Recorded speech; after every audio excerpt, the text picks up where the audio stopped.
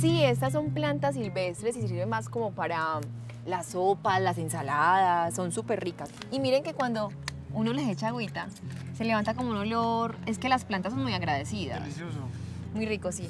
¿Te Son muy agradecidas. Eh, yo he utilizado mucho las que tú dices que son para alimento, pero las que más me gustan son las de las aromáticas. Exacto, es que son súper ricas para Son calmarse. Mejor dicho, las plantas son una para cosa. los nervios, para todo. Así es. Cierto, desde que el hombre empezó a domesticar las plantas, eh, tuvo prioridades. Eh, la parte alimenticia, por ejemplo, la parte medicinal y la parte espiritual, por decir algo. Eh, lógicamente en el tema de las plantas medicinales eh, se supone pues que hubo eso que llamamos hoy en día ensayo-error, porque no se sabía inicialmente las plantas que eran tóxicas o que eran medicinales, que, pero también, pod- también había especies tóxicas. Entonces, eso, eso fue generando como esa tradición de irle buscando la aplicación a las plantas a nivel medicinal, que inicialmente fue, digamos, por eh, similitud de órganos con, con las partes de la planta.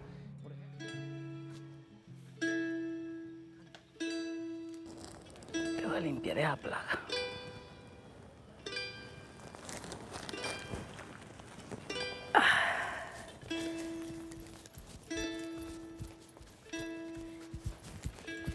Mi tulipán, ¿cómo estás? Yo, Candelita. Amiga, salí en la Candelaria. Hola, señoras. ¿Cómo te fue? ¿Ya vas de tu mamá? Sí, señora. Así no es, Candelaria, así no. Mm, mm. Vos sabés. Mira, primero, tener que dar las gracias a la Madre Tierra por los favores recibidos. Y después, uno le pide permiso para poder servirse de sus favores. Bueno, para riego o, lo que llaman para baños, hay muchas plantas que usan, normalmente usan mezclas, ¿cierto? Usan eh, mezclas de plantas que normalmente, por decir algo, hay un, yo conozco, pues he escuchado, que el baño de las siete hierbas.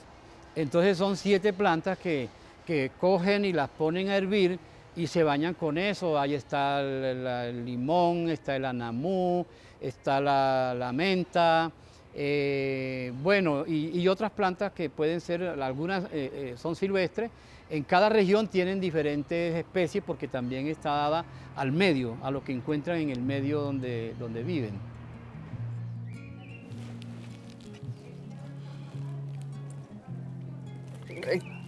Guacala, ¿qué es eso? Usted hizo un menjurjes.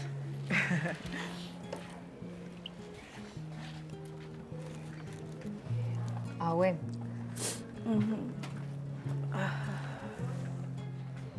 En cuanto a plantas sanadoras, que, es como decir, bueno, plantas medicinales que a través de la tradición han, han ido, digamos, seleccionando.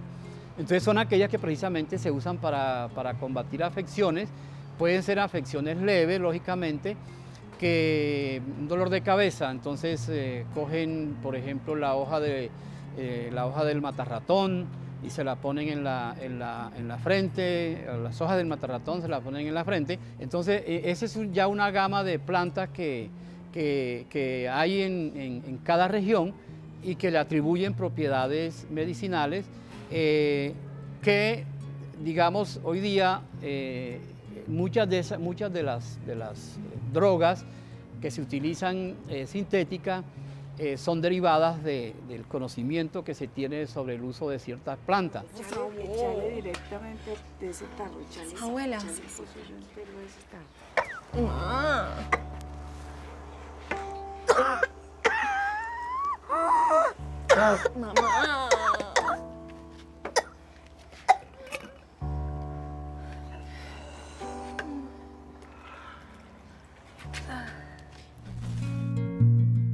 Este capítulo hace parte de la estrategia Madre Selva, el poder de la tierra, una producción de Teleantioquia realizada con recursos del Fondo Único de Tecnologías de la Información y las Comunicaciones. Si quieres expandir el universo del proyecto multiplataforma para acceder a más contenidos, visita madreselva.teleantioquia.co.